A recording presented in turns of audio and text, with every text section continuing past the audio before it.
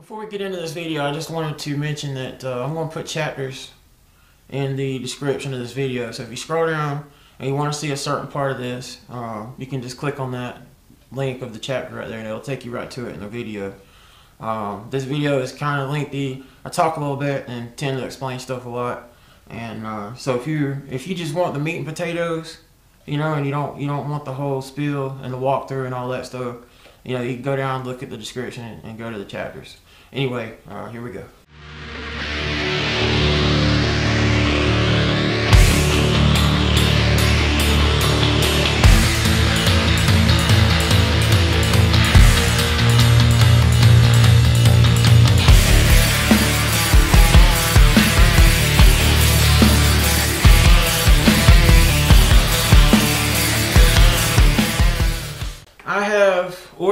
Thread repair kit from huhnsolutions.com and uh, this is going to be a video on how to install the NS300L. I'm pretty sure I got that right.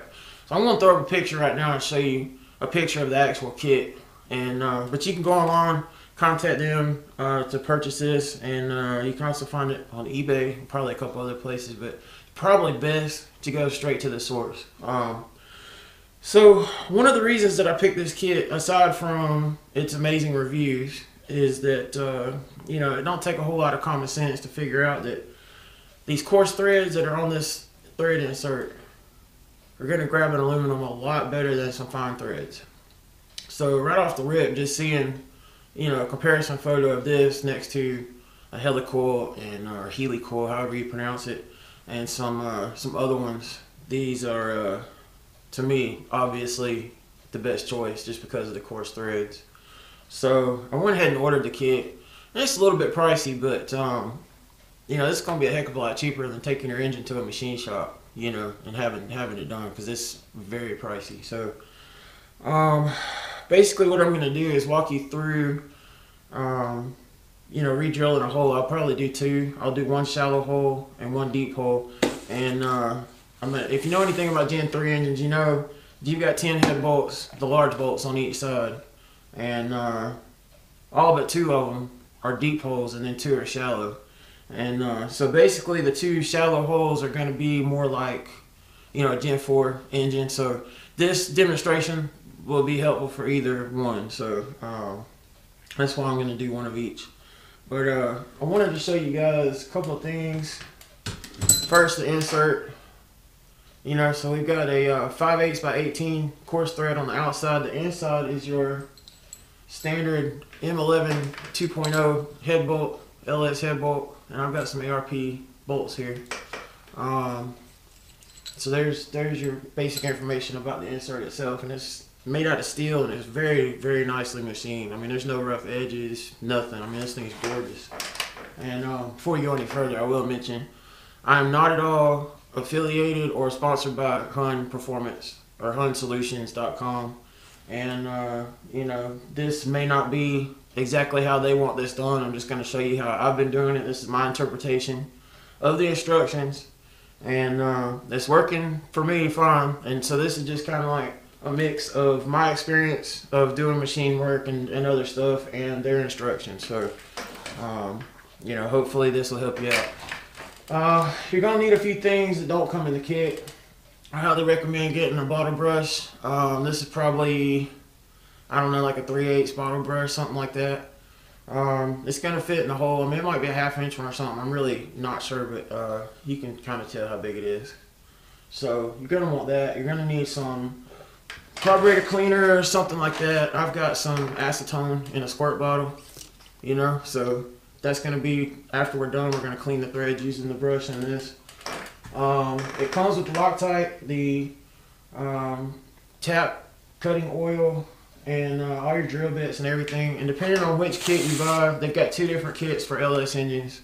Um, the gen 4 kit is a good bit cheaper than the gen 3 kit because the gen 3's got these deeper holes so it comes with an extra tap. And um, so that's that's costly and this guy's, you know, it's a pretty good sized tap. So, um, you know, I'm sure that's expensive. I haven't looked at this one part, but uh, you know, it's a, it's definitely a nice, nice item. None of these tools are cheap. Um, you know, everything's really really nice. So I've already actually done six holes on this side, and uh, I figured I'd go ahead because when I get done with this side, I want to go ahead and torque, you know, clean everything up, torque the uh, the head down, get this side done, and then even though I don't have any stripped head bolts on the other side, um, I'm just gonna go ahead and do do all the big bolts. That way, I don't have to worry about it.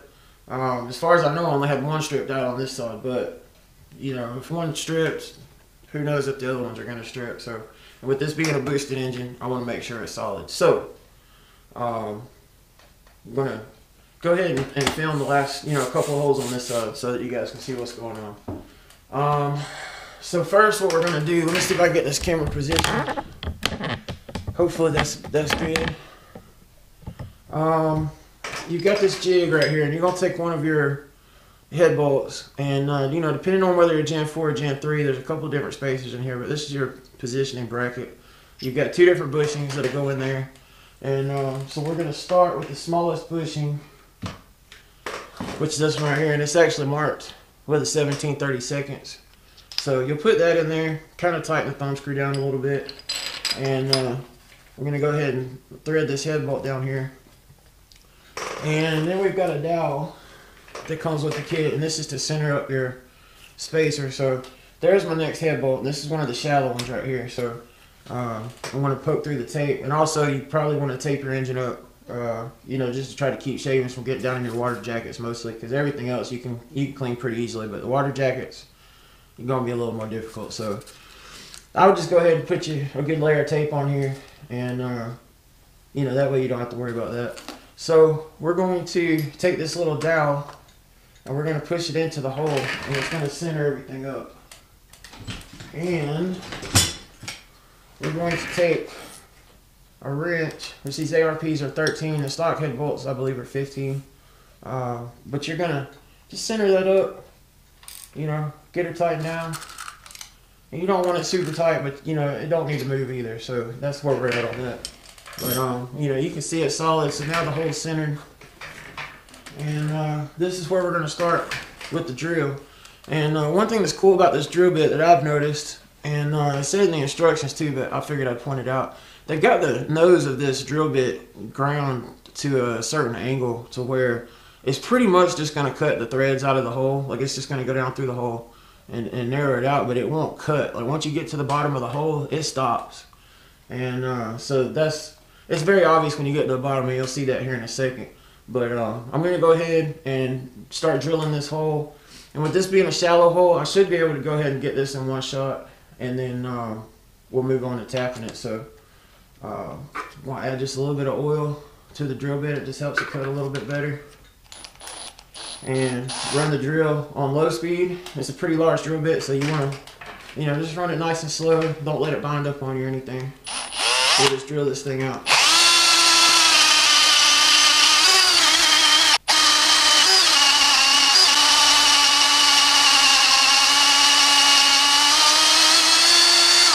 Alright, now I'm sure you can hear that. And you saw that once I got to the bottom of the hole, it just, you know, the drill motor just leveled out. Like you can tell it's not pulling anymore. And uh, I'm, I'm, pushing down on it. And it's not doing anything else. So um, that was very good of them to do that. It just makes things a little bit simpler. But uh, I'm going to go ahead brush my drill bit off. You're going to want another brush. You know, just try to keep everything brushed off, cleaner drill bit and uh, as we're tapping we're going to clean the flutes and everything off too so I'll show you that though. But uh, anyway we're going to slide this guy off and then we're going to clean this up and uh, so the next thing you're going to probably need is some compressed air. I'm sure there might be some other ways that you can do this um, but you need to get compressed air down into the bottom of the hole uh, so you can blow the chips out. So and then the other thing that's going to help you a lot that you don't necessarily have to have, but it sure does help, is a shop vac. So I'm going to show you how to uh, clean the hole out real quick, and then we'll get on to tapping it.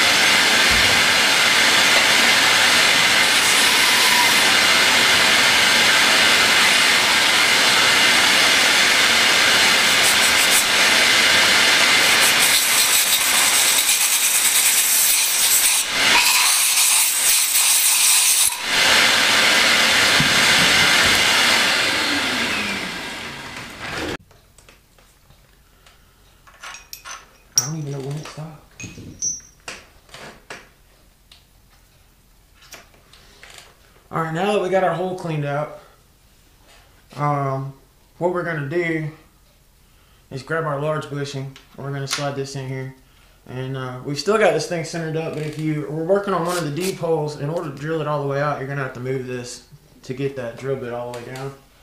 Um, so at that point, you know, this dowel pin will actually slide all the way down in the hole into the smaller, the smaller dowel. So you can put your smaller dowel pin back in there or bushing, slide this back in, line it up, tighten it down, and then put your large bushing in there. Um, but it should be pretty obvious when you're doing this. So we're gonna come in with our tap, our rounded tap, and we're gonna sit it down on the, the block surface there, add a few drops of oil, probably about 10 drops. And uh, you really want to generally use a, a tap handle. Um, I don't really have one. One my main one's broken, and um, I usually use a, a socket. So this is going to be a, a 7 16 12 point or an 11 millimeter 12 point. And uh, you know this is uh, this is kind of it's not really tricky but my point is is you want to make sure that you don't side load the tap um, it's not going to be that critical on this aluminum because it's a softer metal so it's easier to work with um, but we're just going to start tapping this thing down in here and it's not very difficult at all. But this this jig will keep it straight. And uh, so you'll just you'll just go ahead and work it in. And uh, you want to put counter pressure up against the head while you're turning. And uh, and just to make sure that you keep even pressure you can also you know go up like count maybe 10 10 times you pull down on the handle and go 10 times back up. Um, since the aluminum's soft you know it might I might uh, want to guide the tap in one direction or another so um, it doesn't hurt you know just to alternate what side you put the pressure on. Um, as a matter of fact pushing up on the handle is going to make it easier to get even pressure because you can pull down on this easier and it's a little bit harder to push up on this than to pull it down so you'll get a little bit better even pressure on it. But uh, we're gonna basically run this down and uh, it's it's hard for me to explain but as you're doing this you'll be able to kind of feel you know when the flutes get full. And so we're just gonna run this guy down basically until you feel the flutes fill up.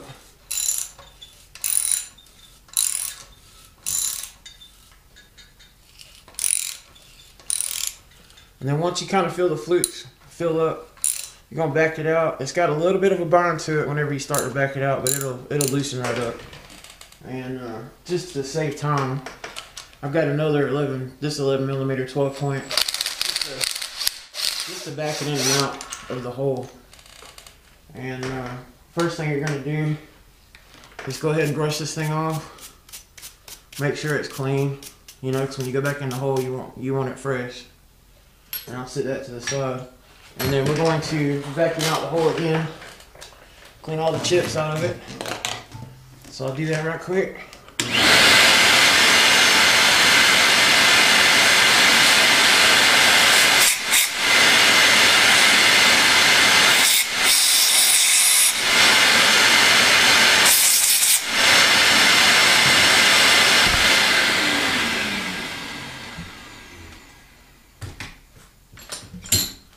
Now tap started, we don't really need the guide anymore. So I'll go ahead and move this guy out of the way. And uh, I guess the next hole I'll do is the top.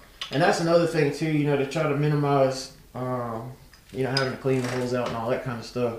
You can kind of start at the top and work your way down. I started with this hole and then I put the, the tooling in this hole and did that one and that one without even unthreading this and this one. And then now I'm, I just did that one off of that hole. I want to do this one off of this hole, and then I'll do the, the lower one off of that hole and the lower one off of that hole. So I hope that makes sense. But uh, we're to see on this shallow hole, we're to see if we can finish this up with this short tap on this Gen 3 block. We'll find out. But uh, I'll run this back down to where I was. add some more oil, and then we'll start cutting by hand again. And I know the, the impact sounds loud, but it's actually not a lot of force on there. So um, even though it sounds like I'm, you know, getting on it hard or something like that, it's really not hardly any force at all. If I was using a drill, you know, it wouldn't, it wouldn't be anything, but, um, you know, I don't want to change, change stuff out a lot, so I'm just using some different tools. So I don't have to change the tips. Anyway, we're gonna run this thing down. Go ahead and cut some more of this hole. And we'll see how far we get on this tab. I think it's gonna make it all the way down.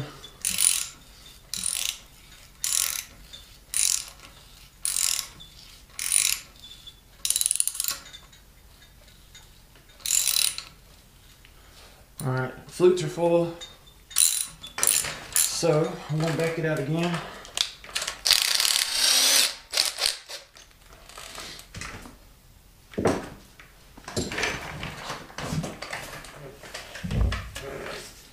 Blow the hole out and repeat again.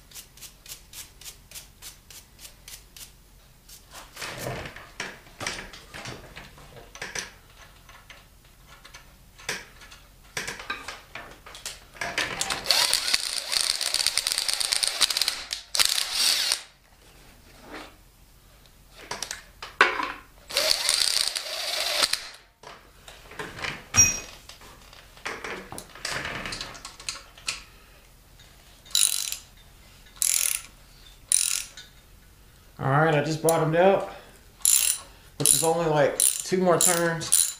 So I guess I could have went ahead and finished that one up. But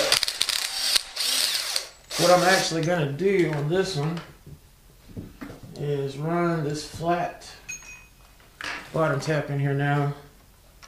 And let's see how that does.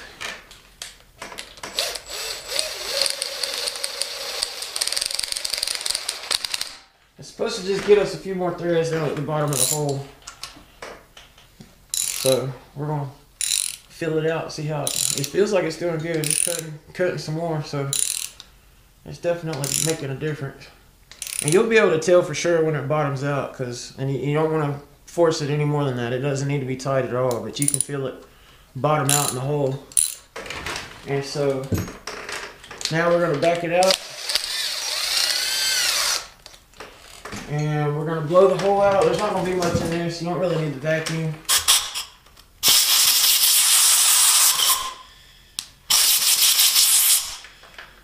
The vacuum is just basically to try to keep from making as much of a mess. So we're going to take some acetone or carburetor cleaner or whatever you have that's going to be good for getting the oil out of the hole. And we'll take this brush and I'm just gonna squirt some of that in there. You know, just work it in at it, scrub it around, get the hole nice and clean. Again, the main purpose of this is to get all the oil out of the hole. And if you get all the oil out of the hole, then you can get all the chips out of the hole. Because we want super clean threads at this point. So what we're gonna do, blow out the acetone or cleaner.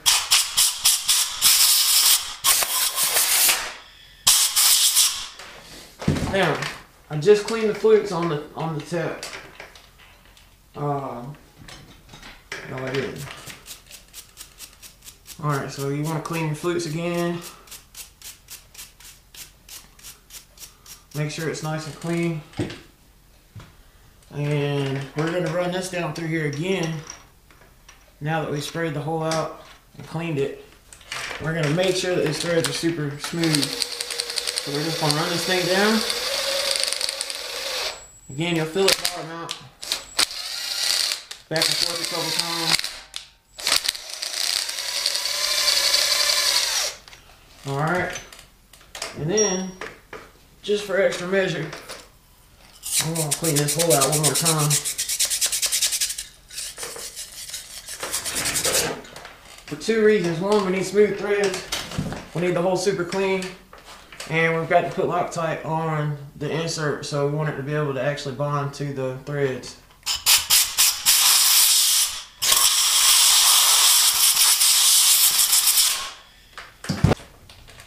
So on this shallow bolt hole, um, basically what we're going to do is we're going to put some Loctite on here and it's going to not go all the way to the bottom so you can just kind of work some Loctite in there. And uh, the kit came with a little measuring device here. And they basically want it to be 17 millimeter down from the uh, deck surface. And so on this thing right here we've got millimeters. And you can see 10 20 right there so we're going to come back three. And uh, that's where we're going to put this thing at.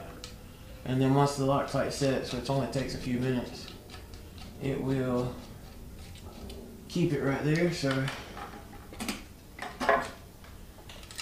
run this thing down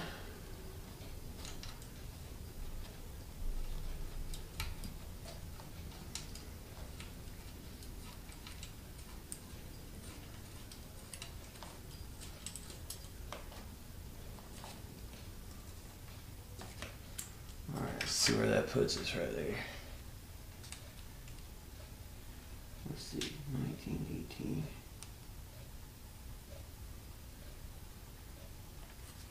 Just a tad bit more.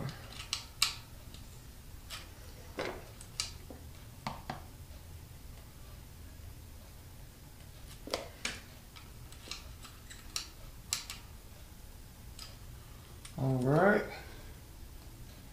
So this 17 millimeter below the deck surface to the top of the insert. And, uh, you know, since these bolts are shorted, I guess what they're trying to do is, you know, center that thing up on the threads of the bolt. So, uh, anyway, so now that we got that done, we're going to move on to the bottom hole, which I already filmed on the other side. But I lost the audio on this side, so I had to redo that short hole. So, okie dokie. Now we're gonna move down to this bottom hole right here. That's This is a deep hole, so I'll be able to show you guys how to, how to work this deep hole. So I'll probably time lapse some of this right quick, so stand by.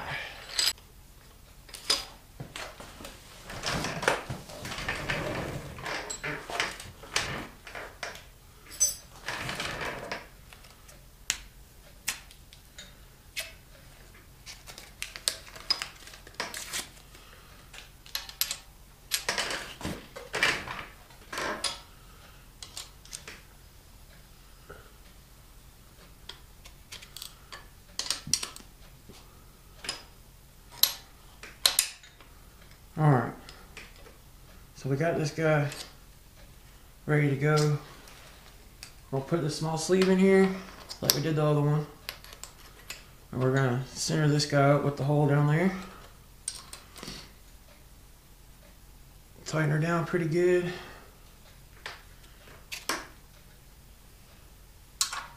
Make sure nothing binds up. If it feels like it's a little bound up, you know, loosen it back up. And uh, Try it again. For some reason this one's wanting to bind up.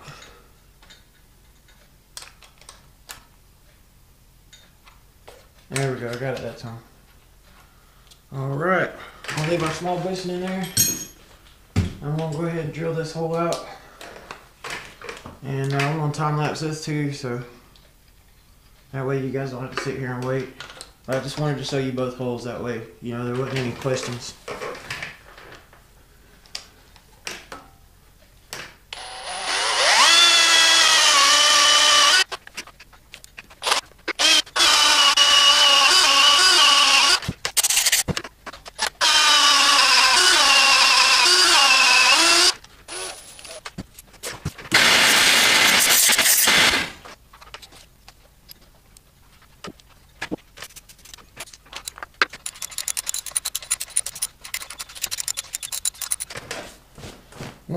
One other thing I'll mention on the uh, the deep holes, when you go in with the short tap for the first cut, um, you can pretty much just bottom it out in the first shot just because the hole's so deep, all the chips can fall down in there. So um, I haven't felt the flutes clog up or anything on, on any of the deep holes.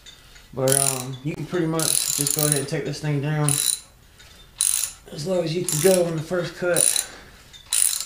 And then we'll vacuum the, and blow the hole out and everything. And then we'll go in with the deep one. So as you can see, we're pretty much there. So I'll go ahead and back this thing out.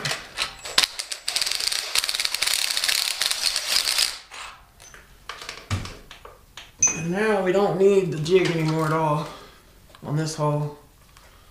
So I'll go ahead and remove it. Get it out of the way because on the deep holes you're going to need all the space you can get.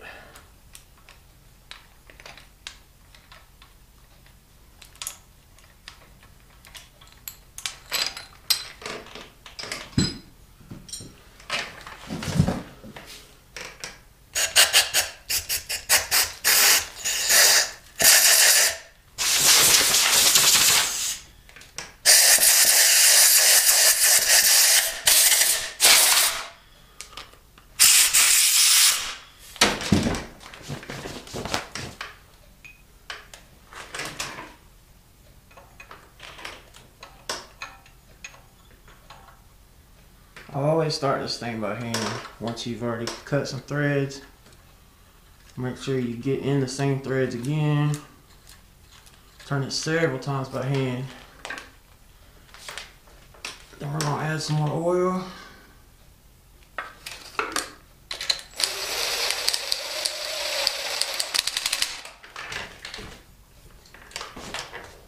And we're gonna get go about halfway down and uh, come back out, clean the hole, and then we're going to go ahead and bottom the, the tap out and then get the hole cleaned up, and uh, then we'll go ahead and do the insert.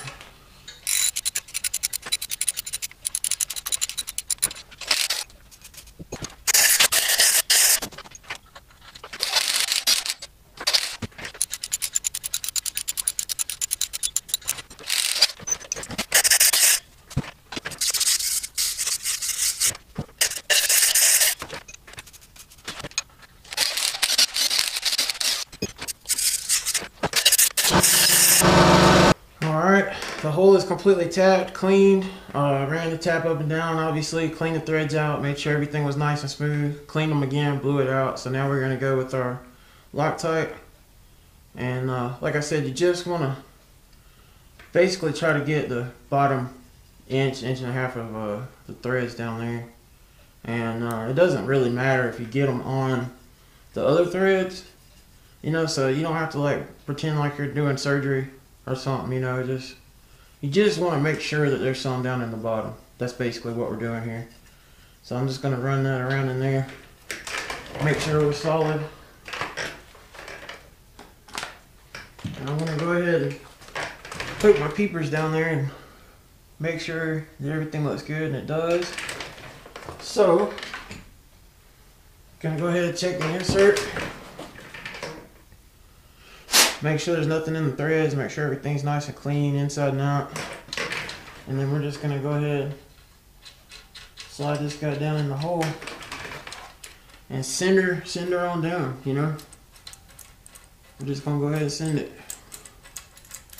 On these deep holes, it's gonna be pretty obvious when you reach the bottom. Um, sometimes the threads get a little tight, somewhere around two thirds of the way down. Not super tight, just enough that it might fool you into thinking that it's all the way down. But um, you'll see by my, I this camera's. You'll see where this thing stops. So it kind of wanted to catch a little bit right there. But um, you know, you kind of tell when it bottoms out. But it's going to be about that deep down inside the hole. Let me turn it a little bit so you can see on the deep Gen 3 holes. So, uh, let me try to get this thing there. Make sure it's all the way bottomed out. And of course, you always just want to go ahead and look, make sure it's bottomed out. And, uh, actually, it kind of looks like it's not.